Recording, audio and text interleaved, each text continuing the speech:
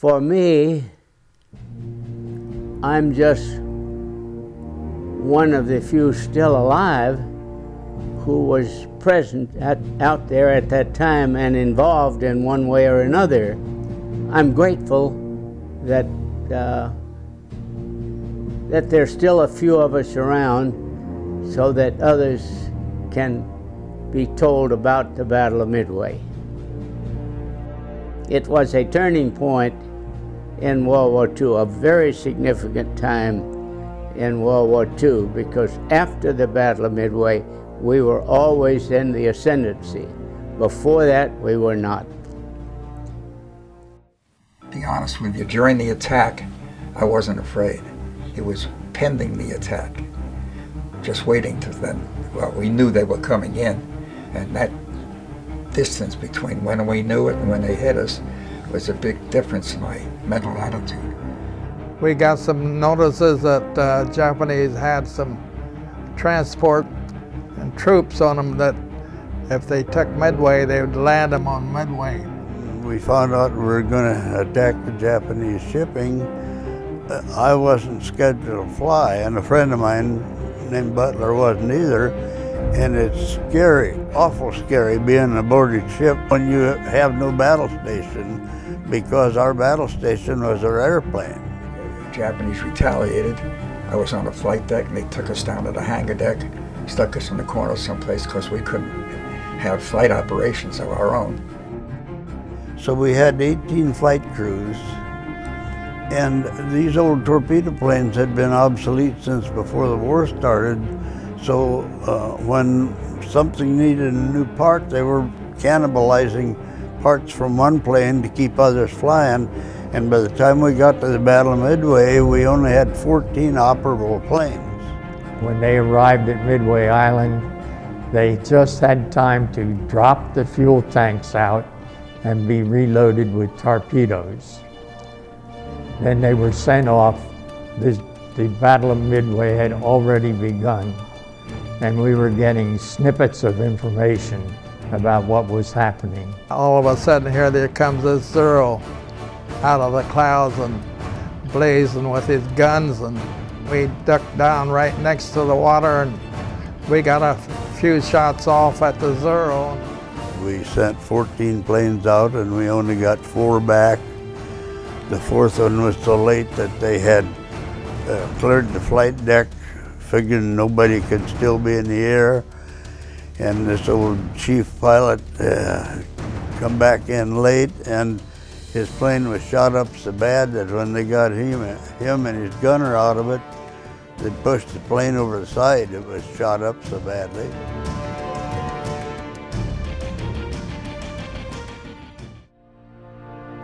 One airplane survived and came back to Midway. When the pilot put down the, pulled the lever to let the landing gear come down, only one gear came down on the plane. And he made a one wheel landing, cartwheeled around and was destroyed. They were the only two men that survived. They sent out dive bombers and us three old torpedo planes. And after we got in the air, my pilot told me that that they had instructions. They wanted that ship at all costs, but if you can bring those three torpedo planes back, that's the only three torpedo planes left in the whole Pacific Fleet. We flew out there and uh, circled the ship, but most of the time out of range of the guns, but once in a while the pilot would turn in toward them to to draw some gunfire from them and just flew a big circle around that ship and watched the dive bombers pound the living hell out of it. We saw the smoke and and three carriers about 10 miles apart from each other, three carriers, and they're just burning from one end to the other, and, and that's the first time that Midway had had any idea what kind of a damage we did.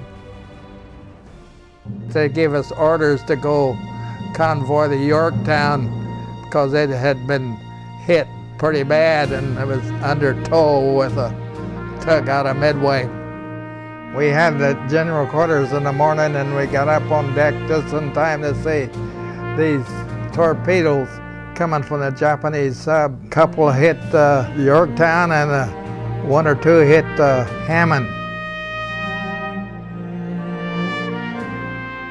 The captain said, abandon ship. So everyone hit the drink, started jumping overboard and sliding down the ropes. I slid down the ropes and they coming so fast, I got about halfway. I just dropped in the water. The Hammann had all the open doors with work party aboard the carrier and it sunk, believe it or not, in about three minutes. They carried something like 300 people on there. I think they saved about 70. We was looking there and they were hollering help and I couldn't do a daggone thing about it. And that really got to me.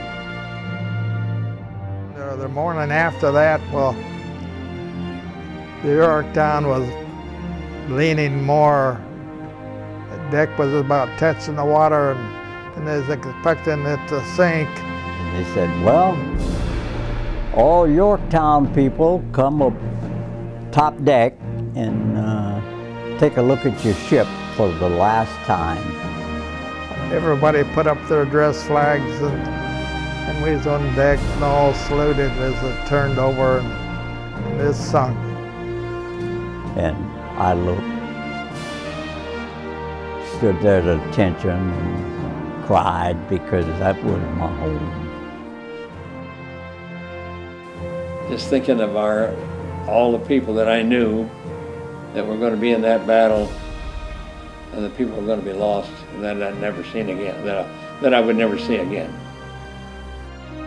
With all the men that were around me and on, on my ship, I didn't see one person who showed any fear or uh, un uneasiness about the battle. The thing that I think about yet to this day is uh, especially one man in the squadron, one of the rear gunners, was a second class radioman and he had a, a new child, a new baby boy, born here in San Diego after we left. And he was always talking about when we get home so he could see that boy. And he was killed at the Battle of Midway. And I, I always dwell on that when I think of the Battle of Midway.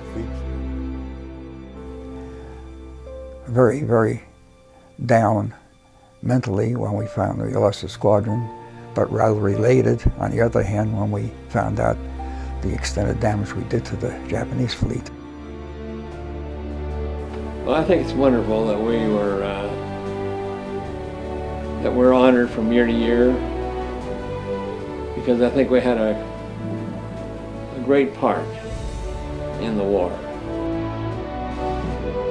A whole group of us went uh, over one day and and spoke to all the children and uh, told them our story and everything. They seemed real interested in it. And uh, a couple of days later, I was walking down the street, and here comes this old boy. He's about 10 years old, and had put his arm around me. And he says, "Well, I wanted to thank you for being there and telling us the story, and we're proud of you." And that was really the first thank you I got out of that whole deal. And I was really glad to get it.